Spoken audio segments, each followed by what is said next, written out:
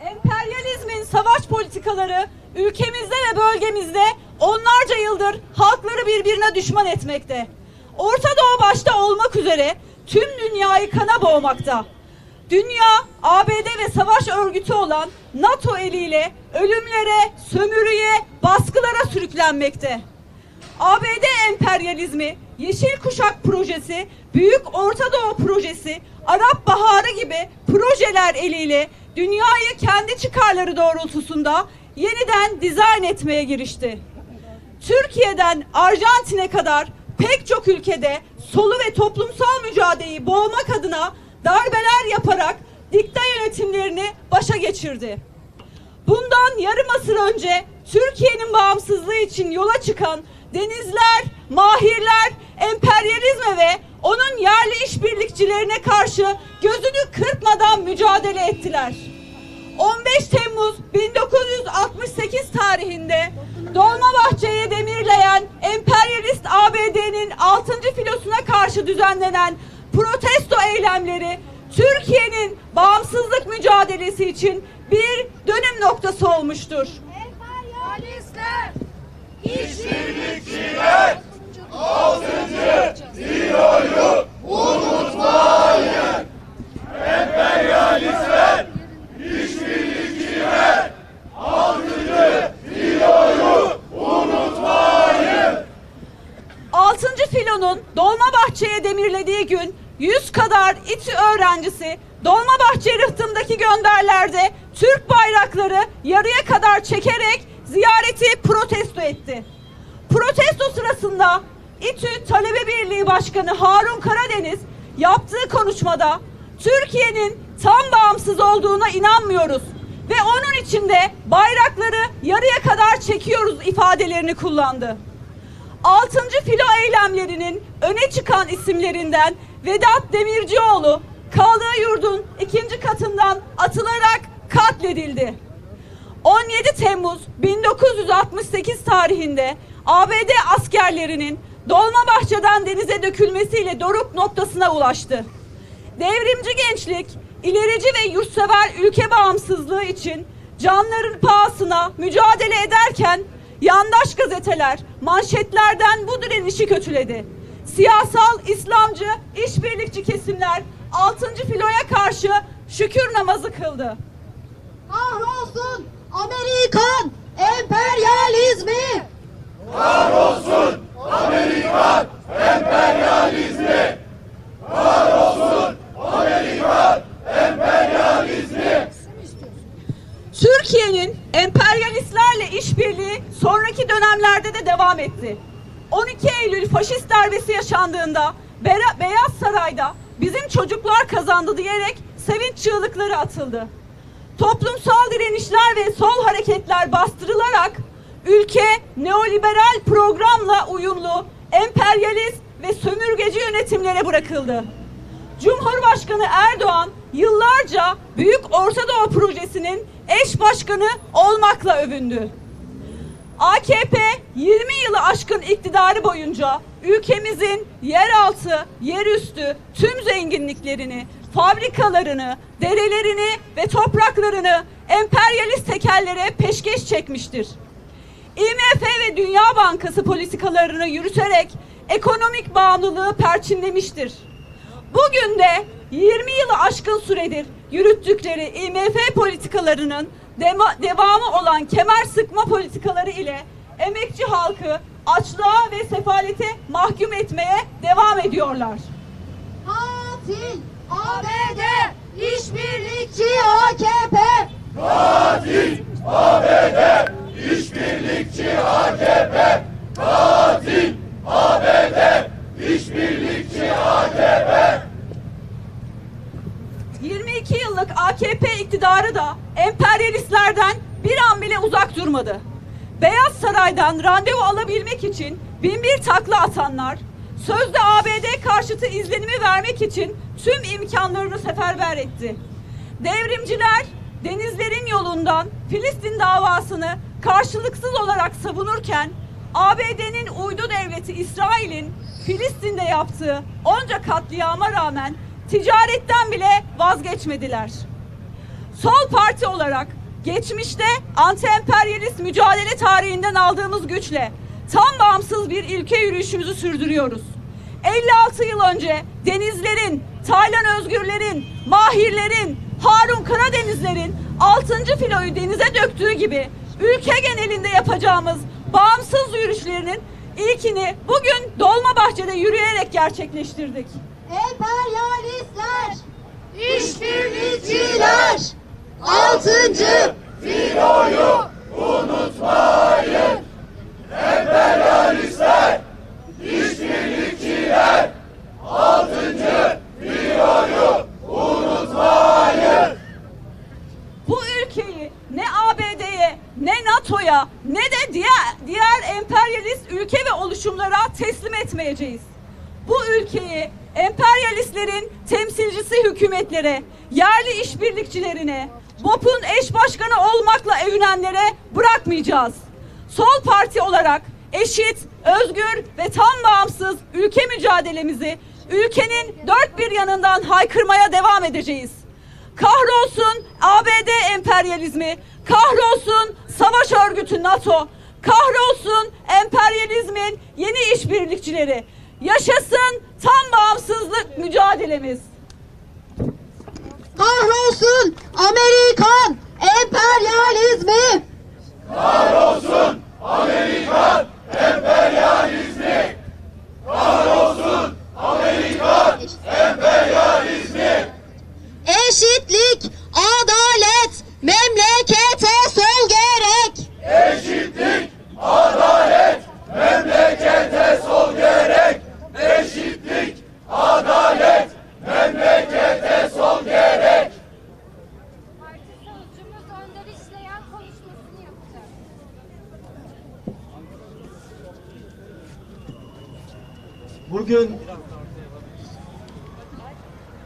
Bugün bu ülke tarihinin en onurlu yürüyüşünü yapan 6. filoya hayır diyen devrimcileri bir kez daha selamlıyoruz.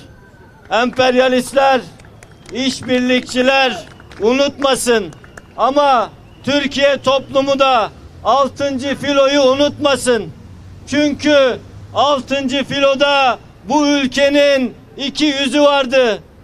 Bir yüzünde Amerikan filosuna karşı secdeye durmuş tarikatıyla, cemaatiyle onların beslemesi siyasal İslamcılar vardı. Şimdi iktidarda olanlar 6. filonun önünde secdeye duranlardı ve 6. filonun karşısında olanlar vardı. Devrimciler vardı. Taylanlar vardı. Denizler vardı. Ulaşlar vardı. Ve bugün de onların yolunda yürüyenler var. Bu ülke bugünkü karanlığa hapsedilmişse onların ağababası emperyalistler ve onların hizmetindeki katiller bu ülkenin en güzel çocuklarını, onurlu devrimci çocuklarını katlettiği için, denizleri astığı için, mahirleri katlettiği için, Sinanları öldürdüğü için bu ülke bu hale geldi. Ama on... Emperyalistler, işbirlikçiler, Altıncı filoyu unutmayın. Emperyalistler, işbirlikçiler, altıncı filoyu unutmayın. Ama her şeye rağmen bu ülkenin ayakta kalan bir umudu, bu ülkenin yarınına dair bir heyecanı varsa işte o bizim tarihimizden gelen bu ülkenin alnı ak onurudur. Bu onurla konuşuyoruz. Eğer bu ülkede bağımsızlıktan yana güçler böyle ezilmeseydi şimdi Filistin toprakları İsrail vahşetinin altında böyle ezilmezdi. Böyle ezdirmezdik. Denizler, mahirler, devrimciler Filistin topraklarını savunmak için Filistin halkıyla omuz omuza verip mücadeleye gidenler. Ama bugün bakın Orta Doğu'da hiçbir toprak parçası kalmadı ki üzerine kan dökülmemiş olsun. Orta Doğu'da hiçbir toprak parçası kalmadı ki insanlar din diye, mezhep diye birbirine kırdırılmamış olsun. Ve bugün Filistin'in her bir parçasında acı ve dram varsa Filistin'in her bir parçası Amerikan emperyalizminin ve Siyonizmin ölüm makineleri altında eziliyorsa bilin ki bu çürüyen düzenin yıkılması gereken düzenin Amerikan emperyalizminin bu kirli düzenin bir sonucudur. Nehirden denize özgür Filistin.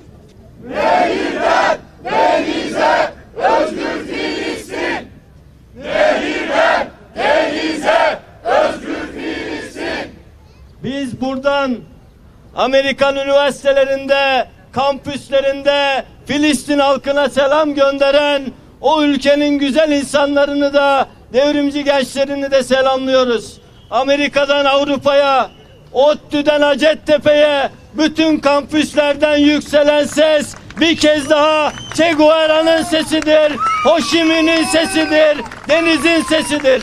İşte o ses artık bu çürümüş düzeni geride bırakmak için yeni bir dünyanın çağrısıdır. Çünkü biliyoruz ki bu düzen altında parası olanın, gücü olanın, silahı olanın geri kalanı ezdiği bu düzen altında emekçi milyonlar, ezilenler mutlu olmayacak.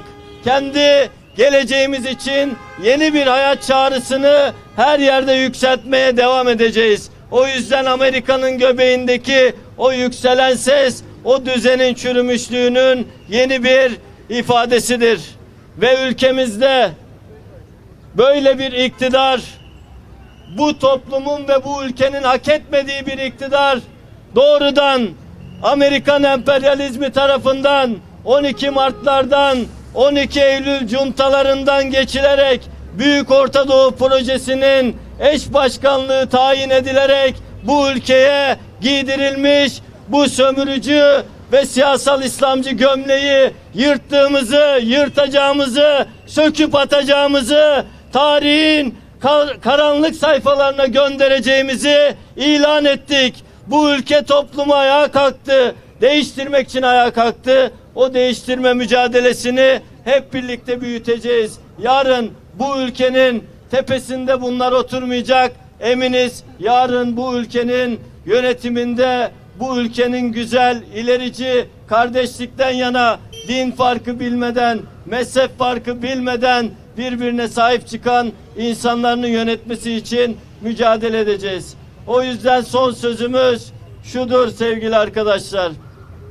Amerikan işbirlikçileri gelir gider. BOP başkanları olurlar, gelirler giderler. Ama bizim bu topraklardaki köklerimiz derindir.